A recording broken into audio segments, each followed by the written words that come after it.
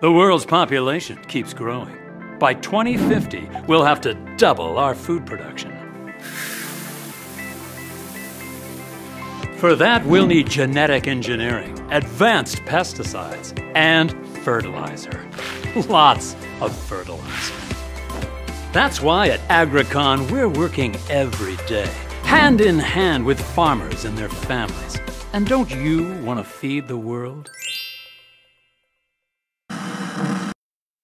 Messages like this one seem to be popping up everywhere, but who's really behind them?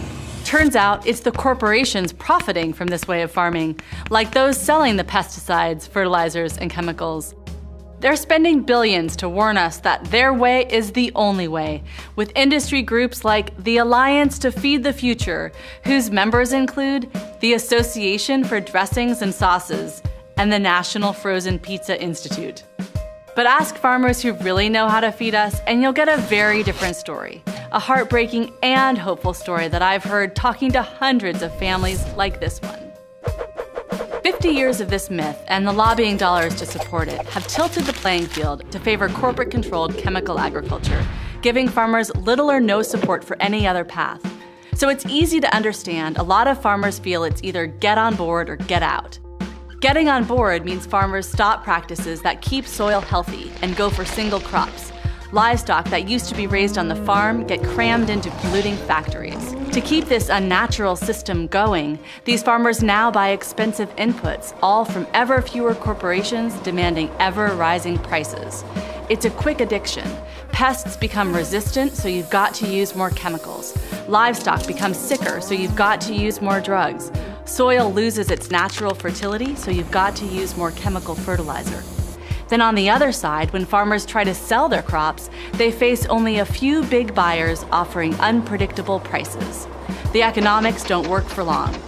Over the last 50 years, millions of desperate farmers have had to sign contracts with corporations that dictate their every move, or have lost their farms altogether. More and more farm income is concentrating at the top, so now only 1 in 10 US farms can support a family. In many other countries, a similar thing is happening. Small farmers who buy into the promise that corporate agriculture is the solution often get trapped by debt and dependency. So, yes, corporate agriculture is good for some folks, including some of the largest growers, but not the typical farm family. And that's strike one for this myth. But we have to feed the world, right? And if not this way, what choice do we have? A great one. We just don't see ads for it, and it certainly isn't getting the subsidies going to corporate ags. State of the art sustainable farming ends this unnatural chemical addiction. It uses better practices, not ever more expensive purchases. Sustainable farmers build healthy soil by planting a variety of crops and rotating them. They raise their animals on the farm, not in cramped factories. They fertilize using compost and livestock or planting soil nourishing crops.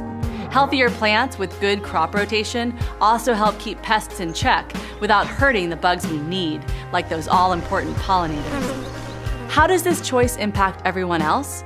Massively. Industrial farms degrade and erode precious topsoil. 64 tons per acre are being lost every year in some spots in our heartland. They suck up huge amounts of water, a lot of it from deep underground, essentially irreplaceable. And they use millions of pounds of antibiotics, a practice that leads to dangerous new bacteria. They also produce toxic runoff that pollutes our rivers, our oceans, and us. The average American already has at least 13 pesticides in our bodies. And thanks to chemicals in the field, farmers and farm workers have higher rates of many cancers. So the sustainable farm is better for farmers and the environment. But can it really feed the world? Study after study is saying yes. Sustainable farms produce as well, and in drought years, even better. This is important news for small farmers who already grow 70% of the world's food. To increase production, they don't have to follow the chemical path. And the future we're all talking about feeding? The industrial farm requires more fossil fuels, water, and mined minerals, all stuff that will only get more expensive as it runs out. So down the line, the chemical path not only can't work for farmers, it won't be a choice at all. Corporate agriculture doesn't reliably grow more food in the future or even today. And that's strike two for this myth.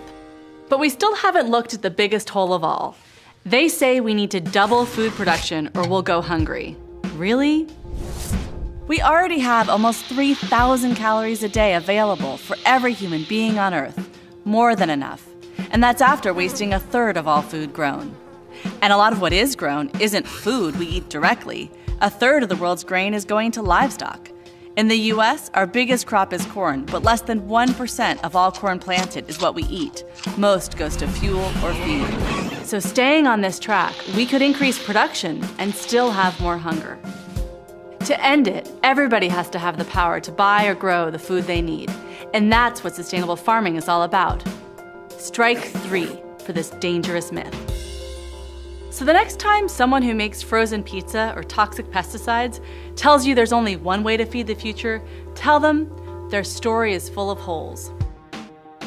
The evidence is clear. Sustainable farmers prove we all can enjoy healthy food, and we each have power to make this happen.